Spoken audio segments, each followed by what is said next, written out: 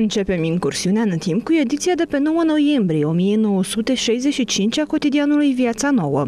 Complexele lucrări de la gospodăria de apă la minorului de tablă groasă combinatul siderurgic Gheorghe Gheorghiu Dej din Galați se afla într-o fază înaintată. De pildă s-a terminat turnarea rezervorului de la castelul de apă industrială, Castelul avea o capacitate de 2000 metri cubi apă și o înălțime de 32 de metri. La execuția acestei importante lucrări și-a dat contribuția colectivul de muncă de la lotul 3, șantierul 2, ICMSG, condus de inginerul Gheorghe Bolohan. Tot la gospodăria de apă s-a predat în vederea montajului stația de pompe. Aici au fost montate 35 de pompe de mare productivitate, care expediau apa din bazinul turnurilor în circuitul de răcire al motoarelor, al cuptoarelor de propulsie și a altor altor agregate din laminorul de tablă groasă.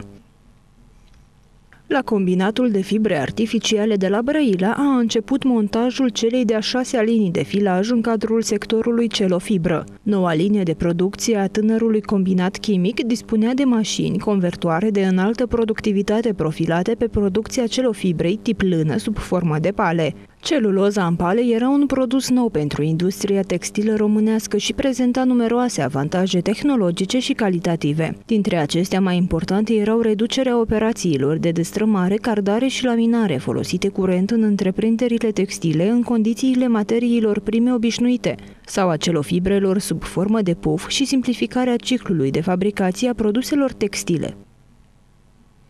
Alexandru Vasilescu, conferențiar universitar la Institutul Politehnic din Galați și profesorul Gheorghe Angel, instructor la Cercul Navomodele de la Casa Pionierilor, au realizat un tip nou de navă cu aripi total imerse, cu caracteristici deosebite. Reglarea automată a stabilității, un sistem de aripi diferit din punct de vedere constructiv de cele existente în lume, la categoria navelor respective, realizarea unei mari stabilități în condițiile de valuri și furtună, putința de a naviga pe mare, de a se înscrie în curbe foarte restrânse, fără a-și reduce viteza și simplitatea construcției fac vasul deosebit de valoros. Vasul, a cărui construcție a fost brevetată, se numără astfel printre primele șapte tipuri de nave cu aripi realizate în lume, alături de cele din Anglia, URSS, SUA, Elveția și Canada.